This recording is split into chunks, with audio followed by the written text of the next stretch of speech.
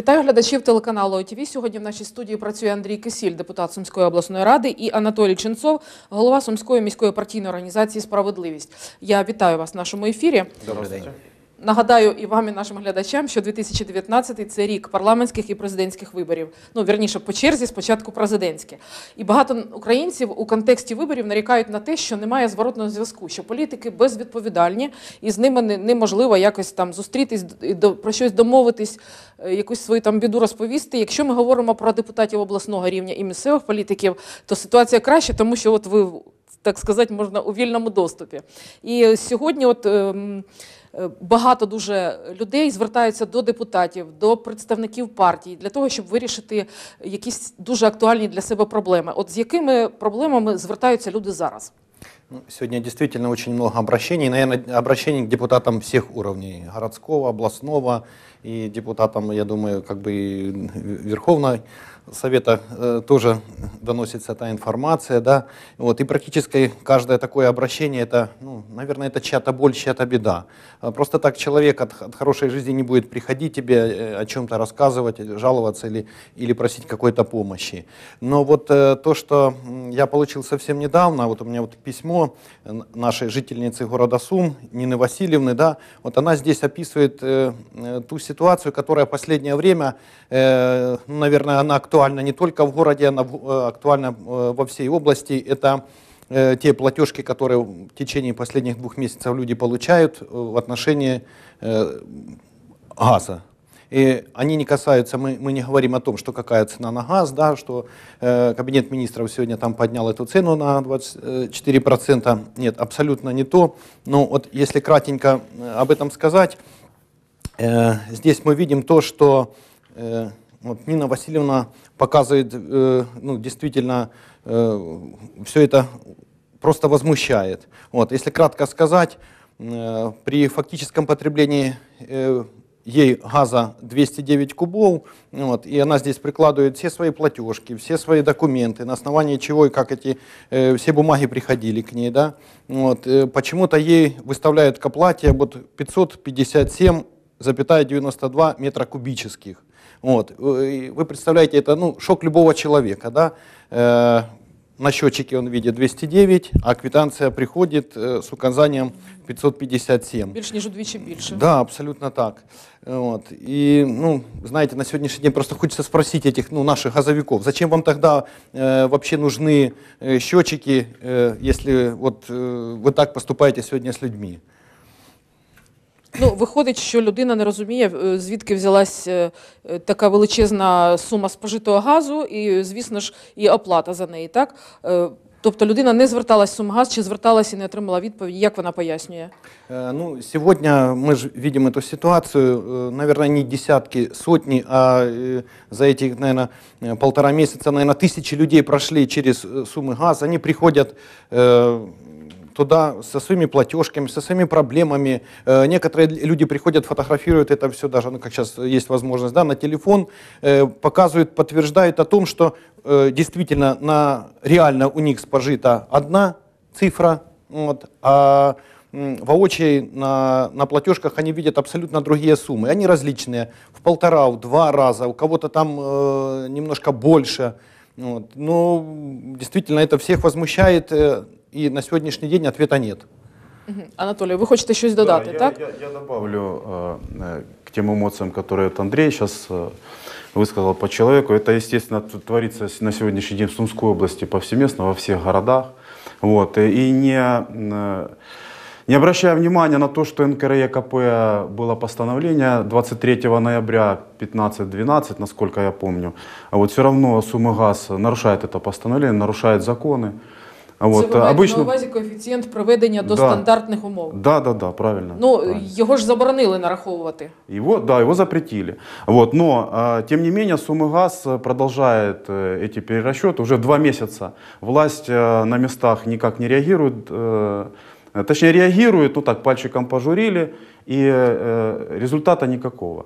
А Вот, значит, э, к вашему вопросу, да, э, люди обращаются когда к нам? И к политикам, э, которые не во власти, да, и к депутатам облсовета, горсовета разного уровня, когда э, творится беспредел. Беспредел вот э, в данном случае э, правовой. А вот, э, когда людям э, украинского набрыдло, наболело, так, а вот, тогда они идут э, к нам, к э, общественным организациям, к политикам и э, депутатам. Так вот, вопрос, почему они не идут к власти, которые дали, за которых проголосовали? Почему они идут к нам? Потому что именно мы и действенны, потому что именно мы э, какие-то вопросы решаем, людские, там, сумчан и в Сумской области. Ну, а, влад- власть, а власть занимается популизмом, занимается демагогией. Вот, вот как бы вот такая картина. И отвечаю, почему пришли, и отвечаю, что мы делаем. Ну, мені довелось колись спілкуватися з людиною, яка сказала, я ходила там до якогось чиновника, але чиновник сказав, що це організація комерційна, це не комунальне підприємство, ми не впливаємо на тарифоутворення, ми не впливаємо на те, що вони нараховують. Тобто, дійсно, людина залишається ем, ну, сам на сам своєю проблемою або от іде до вас. Але от скажіть мені, що в цих умовах з платіжками, з, з величезними цими сумами робити людям? Чи платити, чи чекати? Ну, тобто, от яка, яка зараз має бути лінія поведінки у людей? Ну, э, прежде всего надо понимать, что люди попадают ну, в своеобразную ловушку. Да? Когда вот они получили такую квитанцию, естественно, у них возникает вопрос, что дальше делать. Тем более, что они ну, э, э, четкого ответа на сегодняшний день не получили ни от власти, ни от газовиков. Газовики говорят, что у них это все правильно, с одной стороны. Кто-то э, трактует это, что там э, какой-то э, ну, сбой программы, да, и все это будет пересмотрено, но на протяжении того времени, вот, которое оно есть, мы, мы пока этого не видим. Да, и ряд, ну, на сегодняшний день, я так бы даже сказал, наверное, политиков, которые, да, говорят, что давайте будем бойкотировать, не будем платить, человек попадает действительно ну, в такую ловушку. Не заплатив эту квитанцию, он автоматически, у него снимается субсидия, раз. Э, следующий момент, э, есть э, формально э, повод, чтобы газовики завтра пришли, этот газ отключили совсем, так? И ну, люди дальше могут ходить годами по судам, доказывая свою правоту. Вот, э, задолженность это будет только расти, а проблема она так и невозможно будет и не будет решена. Э, ну, все-таки я считаю, что э, свои права люди не должны сами сегодня защищать. Вот таким образом, да, как есть ну, возможность у автора нашего письма, вот она обратилась ко мне, э, и мы четко отреагируем, и я уже был и у газовиков, и вот сейчас и по администрациям пытаемся этот вопрос поднять, да.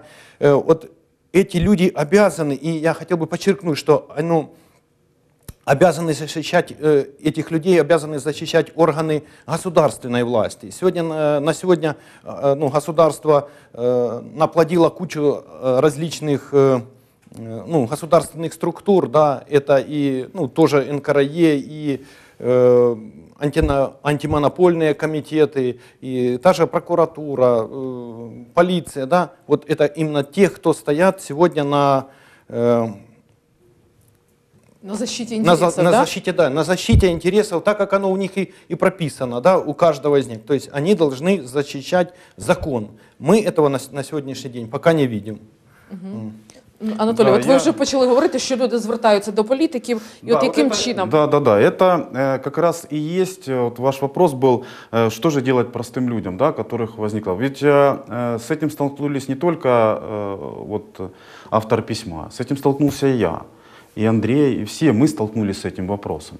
Вот, поэтому э, первое действие это э, писать жалобы активно э, в горсовет, прокуратуру обращаться, во все службы, органы, это делать надо. Другое дело, что э, физический человек может этого не потянуть, да, есть пожилые люди, которых там инвалидность, еще что-то. Для этого и существуем мы, да, активные люди, активные депутаты, активные политики, которые готовы помочь юридическими консультациями, где-то э, оформить правильно жалобу, куда-то проехать вместе с ними, защитить интересы в суде. То есть вот, вот то действие, которое мы можем в своих э, рамках и силах сделать. Теперь коснусь немного вот э, тех служб, там, антимонопольного комитета, городской власти, э, областной власти на всех уровнях.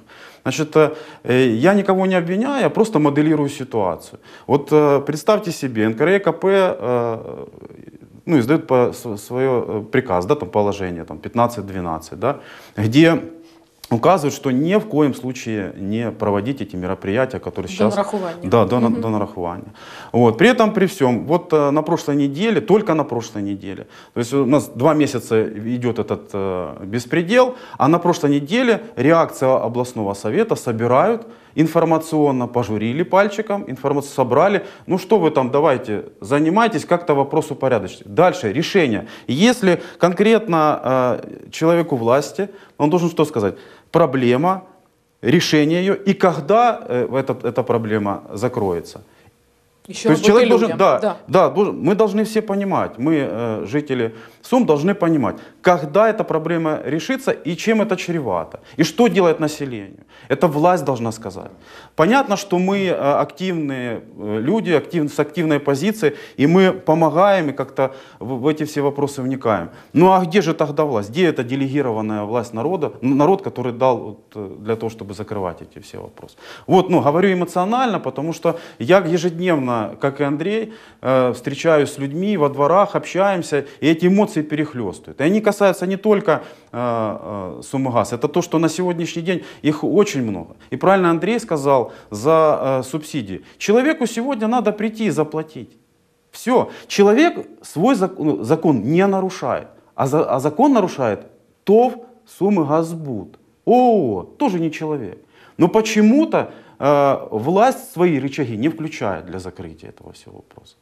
А если включает, то популистически, как я сказал, ну и демагогию. Ну, ми поговорили про коефіцієнт приведення до стандартних умов, а Верховний суд же ж відмінив постанову, якою знижувались обсяги споживання да, до трьох кубів. І тепер повернуті е, людям нараховують по 9 кубів. Да? І от із, за, за рахунок цього збільшується ціна. Але так само в уряді не можуть зібрати, е, ну я не знаю, кворум чи не знаю, що вони мають зробити для того, щоб прийняти нову постанову.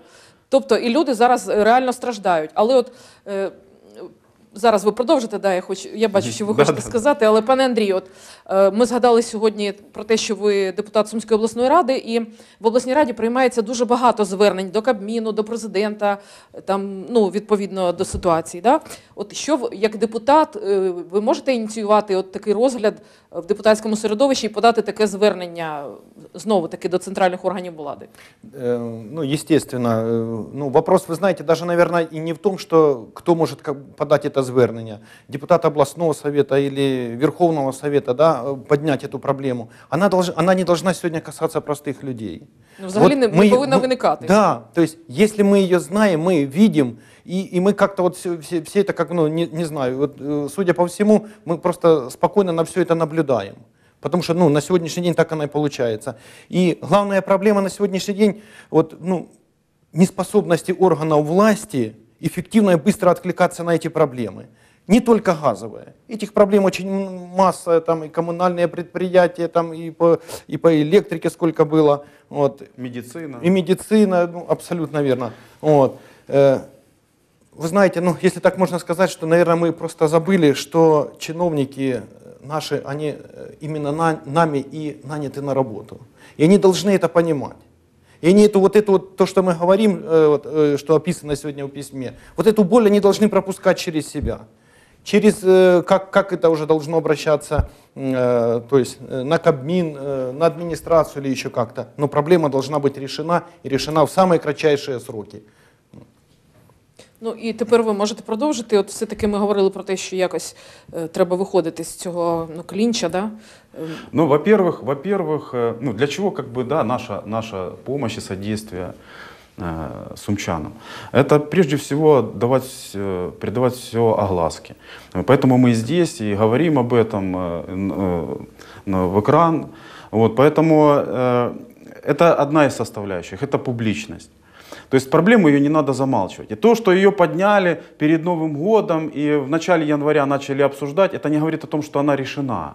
И не говорит о том, что на- народ успокоился и этот э, накал, он как-то съехал вниз. Нет, ни в коем случае мы этого не дадим э, допустить. Потому что любая эмоция, она когда рано или поздно затихает. Так вот, э, эти эмоции, их э, у сумчан не погасить, понимаете? И, и мы поддерживаем эту публичность этой проблемы.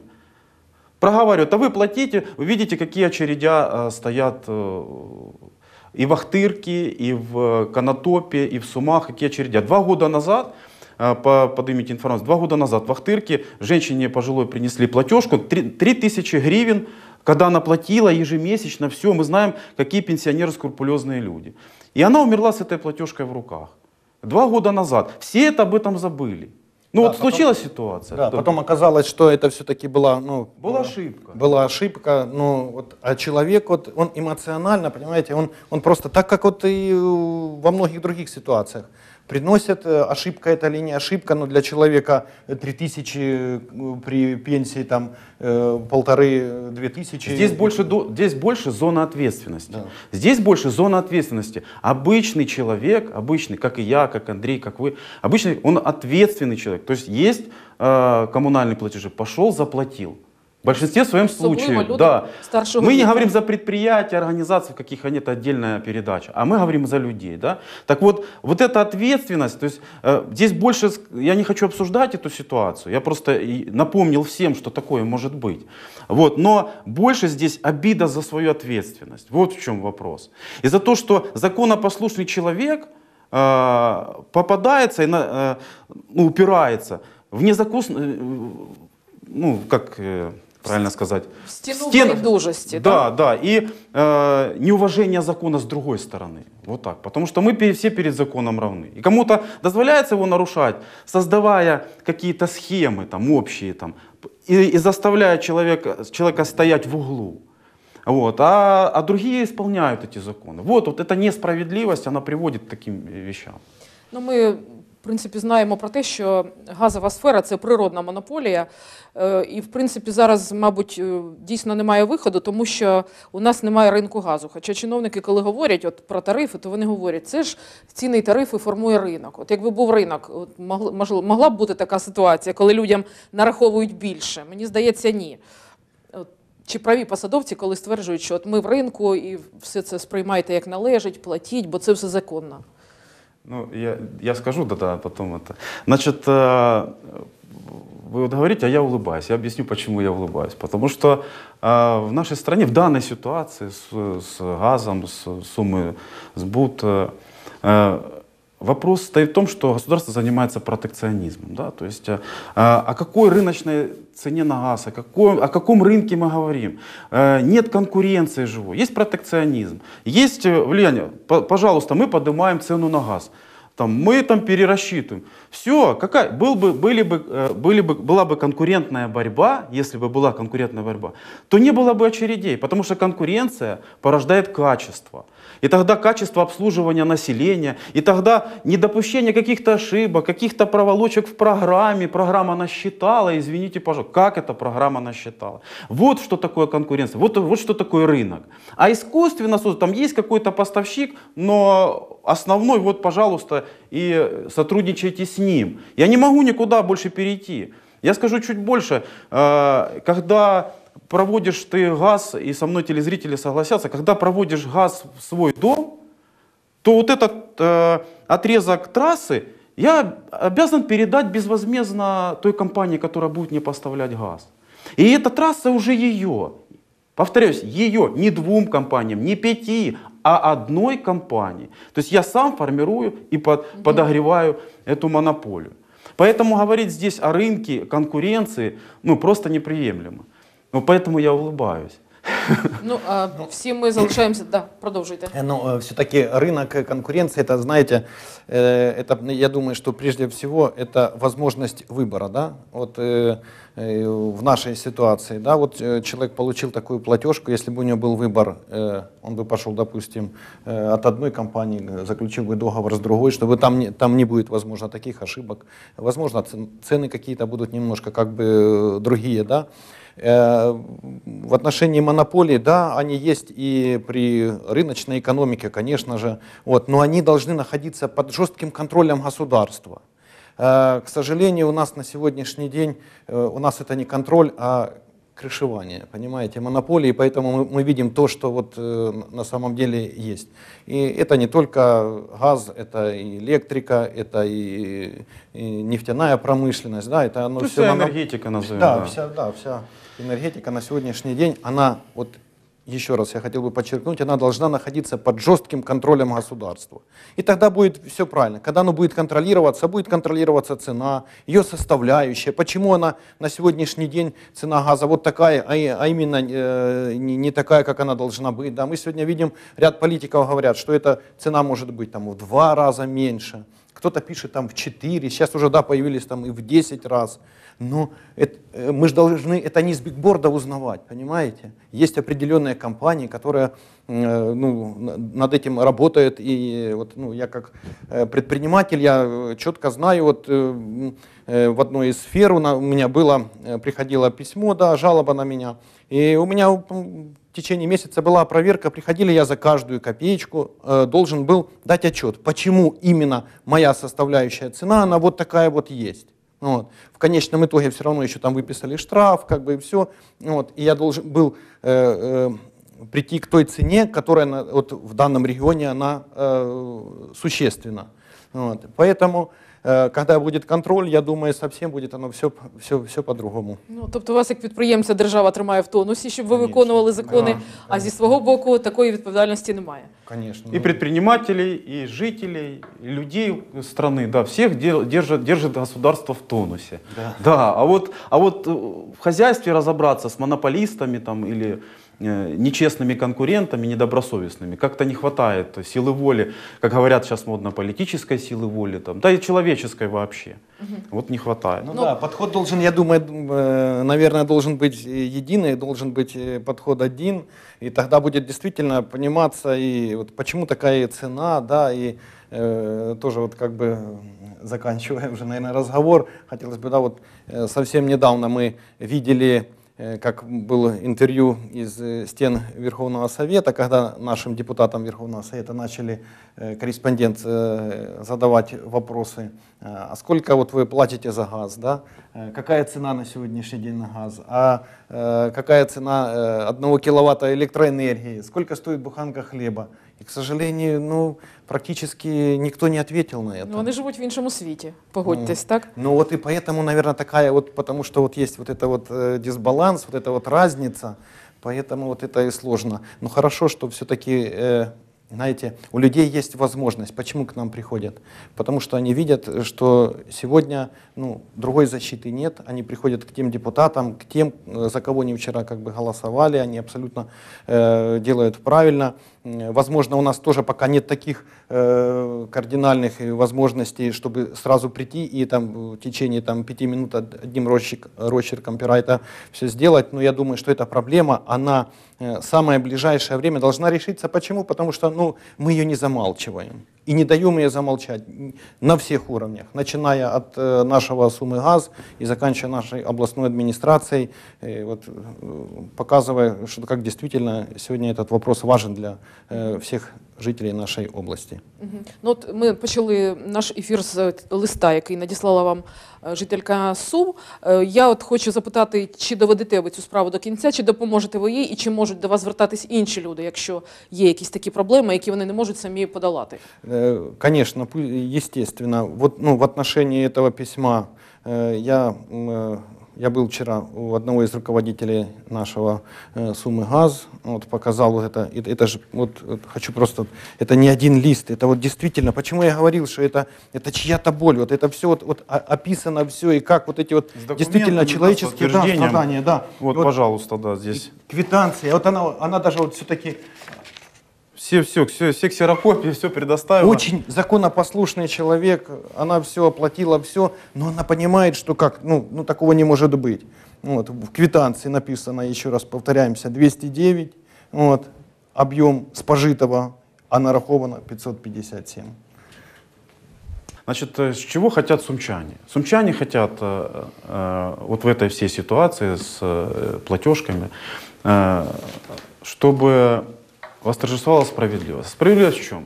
Если вы что-то сделали не так у себя на работе, вас что делают? Наказывают. Так вот, пожалуйста, за те ошибки, которые существуют, за нарушение закона, сумчане хотят видеть наказание. Конкретное действие, наказание. Вот что, это то, что я слышу в городе, во дворах, улице. Я это говорю в екран. І тоді, Спасибо. і тоді буде порядок в державі. Да, Дякую да. вам за наш ефір. Я нагадую, що сьогодні в нашій студії працювали Андрій Кисіль, депутат Сумської обласної ради, і Анатолій Ченцов, голова Сумської міської партійної організації Справедливість. Дякуємо за увагу. Залишайтесь на телеканалі АТВ.